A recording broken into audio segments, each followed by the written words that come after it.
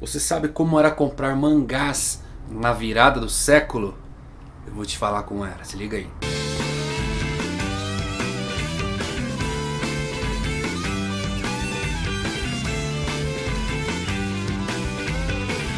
Fala galera, Evandro Fusari aqui com mais um vídeo para vocês. Hoje eu vou trazer uma curiosidade, como era comprar mangás na virada do século. Mas antes disso é novo, se inscreve no canal, já é inscrito, deixa um like maroto aí pra gente. Então vamos lá, como era comprar mangás na virada do século. A virada do século, se você não sabe, aconteceu nos anos 2000. Não pense que foi lá em 1900, o Einstein, não. Na virada do século, dos anos 2000, quando os primeiros mangás desembarcaram aqui no Brasil. E hoje é dia de que você que é novo se sentir totalmente perdido, você que é mais velho se sentir muito mais velho, vai lembrar de muitas coisas que passou também. Como vocês sabem, nos anos 2000 a internet era pífia. Você tinha que usar a internet de escada, tirava o fiozinho do telefone, colocava lá no computador, fazia todo aquele barulho, esse barulho aqui, ó. É, tinha tudo esse barulho para você conectar a internet e você ficava sem telefone. Porém, a internet era muito lenta. Baseava-se praticamente a visitar sites. Não existia o Google, existia somente o Yahoo na época que também não funcionava para nada. Era bem lenta. Para vocês terem uma ideia, eu adorava salvar imagens de Dragon Ball. Eu tinha um disquete que você talvez não conheça. E se você conhece, você vai se sentir velho por conhecer. Então a gente salvava. Eu mesmo saía procurando é, wallpapers. Hoje não existia o nome, tá? Então eram imagens que tinham lá na internet disponibilizavam, eu vivia salvando, eu tinha um disquete cheio, com muitas imagens de Dragon Ball, dava mais ou menos umas 30 imagens que enchiam um disquete. Pra você ter uma ideia, um disquete cabe 1.44 megabytes, não cabia nada. Filme, desenho, esquece, só imagens e cabia no máximo 30. Depois disso tinha que comprar um novo disquete. Foi o período de descobrimento. Foi um período ótimo, foi um período para descobrir os gostos e saber do que, que eu gostava. Naquela época a televisão bombava com animes, tínhamos a própria rede Manchete, tínhamos a Band que depois passou alguns anos mais para frente, a Globo também exibiu, o SBT que foi um dos primeiros a exibir animes, passou Dragon Ball, a primeira versão passou no, no SBT. Então foi o ano de descobrimento, porém um ano sem informações um ano que a gente não tinha divisões de mangás, não tinha qualidade, não tinha preço, não tinha nada. Era tudo aleatório. Nossa informação resumia-se basicamente a revistas que você comprava impressas em bancas. Muita gente não compra hoje. Eu tenho até hoje o costume de comprar revistas. Eu compro até hoje revistas sobre qualquer assunto que seja, porque eu adoro ler a, a, a versão física. O mesmo mangá eu simplesmente eu não suporto ler é, em scans, não consigo ler na internet, não consigo ficar em frente ao computador lendo. Não gosto, não gosto de assistir nada no computador. Eu sempre prefiro a versão física. Então naquela, naquela época você tinha em torno de 10 revistas sobre informações de mangás e animes. As novidades que chegavam estavam sempre nas revistas lá. Isso aqui, ó, para vocês terem ideia, eu tenho essa daqui guardada até hoje com muito carinho. Essa é uma revista de 2002. Até então eu tinha 17 anos e eu comprava muito essa revista. Anime Mix, Anime Do, Ultra Jovem, Heróis. Tinha muitas revistas com informações. Então, para vocês terem uma ideia, nossas informações de animes vinha disso, tá vendo? Falando de Evangelion, Lodos War, coisas que não eram exibidas no Brasil. Essa revista, inclusive, eu guardo com muito carinho por causa disso daqui, ó. Dá uma olhada aí, galera. É, saiu um desenho meu na revista. Pensando o quê? Eu tenho uma pasta com desenho, adorava desenhar. Hoje, infelizmente, não tenho mais tempo, mas eu adorava. Eu tenho uma pasta com muitos desenhos. Tentei fazer um mangá, mas é muito difícil, é muito complicado. Mas essa revista mesmo saiu um desenho meu em 2002. E era por causa disso que a gente tinha informações de como adquirir. É, é, Naquela época era tudo, lembra que eu falei dos fansubs? Os fansubs disponibilizavam animes novos através de fitas cassetes. Então você não tinha DVDs, você não tinha internet para baixar, você tinha que mandar uma carta a punho, né? nem digitada no computador nem impressa, porque impressora era uma coisa surreal de caro naquela época. Você escrevia lá pro fansub, o fansub te mandava fita, nem te cobrava nada. Então naquela época era uma época que a pessoa era bem coletiva, era bem junto. Você emprestava a fita para um amigo, o amigo te emprestava, o fansub te mandava, não cobrava nada. Eu tinha minhas duas waifus na época já. Minhas personagens preferidas femininas era a Ray de Evangelion. Eu amava aquela personagem. Nossa, eu tinha um pôster dela. Minha primeira waifu. E a Ai de Video Girl aí. Que eu adorava a arte também. Eu, é, as minhas duas waifu. Eu tinha duas. Olha só, eu já tive waifu. Caramba. Mas eu adorava as personagens.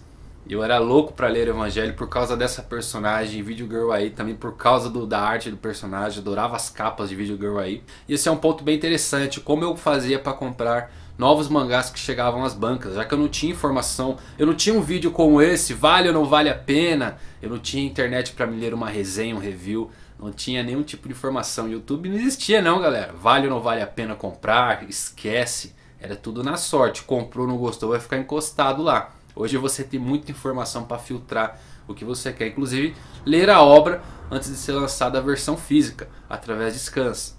E para mim, eu simplesmente escolhi o mangá pela arte da capa. A arte da capa era essencial para a minha escolha de compras. Mesmo não tendo uma variedade muito grande com o passar dos, dos dois, três anos ali a partir do primeiro lançamento, começou a chegar alguns mangás com temas diferentes, mas que a gente não conhecia nada. Então eu simplesmente gamava na arte. Gostei da arte, vou comprar e vou ler. Provavelmente vou gostar, porque não tinha dinheiro naquela época. Se você comprasse errado, ó, se lascava. Então, basicamente, a minha escolha de mangás novos era feita totalmente pela arte. Mangá não tem sinopse, você sabe disso, você não consegue ler um resumo. Então, eu pegava ali a capa, que nem Video Girl aí mesmo, era um mangá que eu era apaixonado pela arte da capa. Eu simplesmente adorava comprei por causa disso. Também gosto muito, é uma obra que eu adoro muito. Tomara que tenha um relançamento um dia. No vídeo que eu lancei anterior sobre os possíveis relançamentos da JBC, eu ia falar de Video Girl aí, porém tirei ele e coloquei outro, mas eu espero que volte. É uma arte que me agrada muito. É... Video Girl aí e DNA. DNA também a, a personagem principal é minha wife. Eu tinha três waifus na época. Eu tinha um harém naquela época. Eu adorava a arte. A comunicação com outras pessoas também era uma coisa engraçada nessas revistas tinha seção de cartas que você mandava os seus dados, falava, ó, oh, eu sou Evandro Fusari, eu moro em São Bernardo do Campo, esse é meu endereço, tal, tal, tal, tal.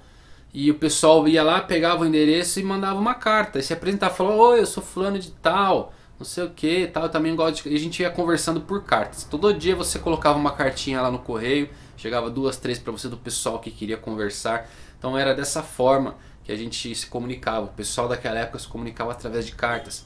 Eventos não existiam, não tinha Anime Friends, não tinha Comic Con, não tinha um evento para juntar toda essa galera. Cosplay então esquece naquela época, totalmente inexistente.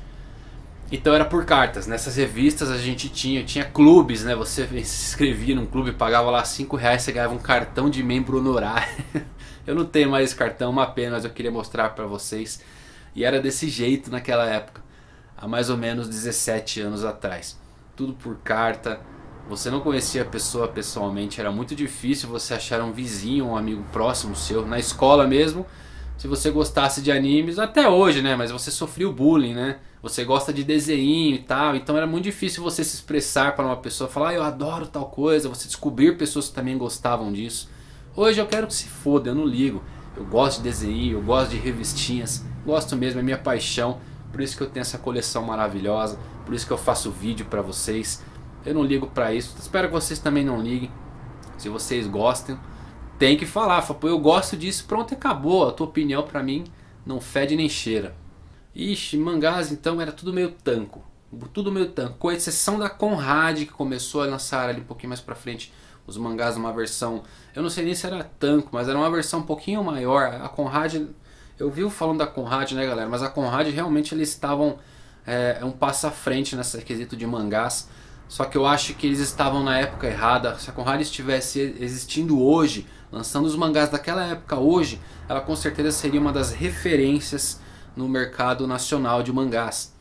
Só que eles lançavam mangás naquela época que eram um pouco caros e o público era todo jovem. Hoje, os jovens daquela época estão, estão mais velhos, estão nas casas dos seus 30 anos, já trabalham, tem família, então tem uma renda para comprar um mangá um pouco mais caro, um mangá de 40 reais, por exemplo. Então o pessoal trabalha. Naquela época, todo o público era exclusivamente de adolescentes e pré-adolescentes e crianças. Pessoas que não tinham dinheiro para comprar mangás. Eu mostrei o Hakusho para vocês, custava R$3,50 galera. Você tem noção do que é você ter uma puta de uma leitura por R$3,50. Era mais barato que uma revistinha da Turma da Mônica. Então aquela época era sensacional. Não nos importávamos com qualidade, nem sabíamos o que era tanco e meia, meio tanco. Não sabia isso, não existia pra gente. Apenas que o mangá se lia de trás para frente e era mágico. Oh, isso aqui se lia de trás para frente. Você dava para as pessoas ler e falar, pô, você tá lendo errado, vai querer dar uma ensinada aqui, né? Mas era uma, um ano mágico, muito bom. Descobrir novas pessoas que gostavam também era muito legal. E hoje você tem toda essa facilidade, né? Você tem vídeos aqui pra gente conversar sobre todo o universo de mangás e animes. Falar mal de personagens e falar bem também gritar para as editoras, bradar que queremos mangás com ótima qualidade, miolos de papéis sem ser de papel higiênico, queremos tudo da melhor forma possível. Naquela época a gente não tinha. Então galera, é só um vídeo de curiosidade, de descontração, para você saber como é que era. Eu sei que tem muita gente da minha idade, talvez mais velha, que vai lembrar aí, vai se sentir mais velho vendo esse vídeo quando falar, puta, pior que é verdade, eu comprava mangá assim também, eu olhava a capa falava, gostei da arte, eu quero essa arte, eu comprava revistas para ler sobre histórias, ficava babando, esperando chegar aquelas novas histórias para serem contadas no Brasil, tá bom? Espero que você tenha gostado, galera, é um vídeo descontração, fica ligado que eu vou trazer mais uns vídeos novidades aí, e agradeço por você ter assistido. Chegou até aqui o final. Muito obrigado, valeu mesmo. Significa que você gosta desse mundo tanto quanto eu, ok? Então fica ligado nos próximos vídeos aí. Valeu, fui!